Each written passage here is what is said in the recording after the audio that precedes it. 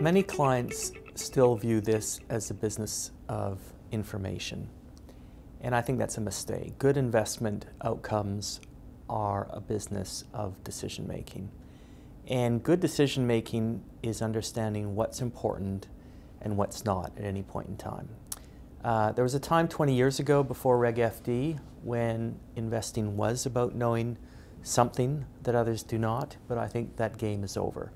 Um, I get a lot of research in my email every day, and to paraphrase Winston Churchill, 95% of it is dogs at the side of the road barking as the traffic goes by.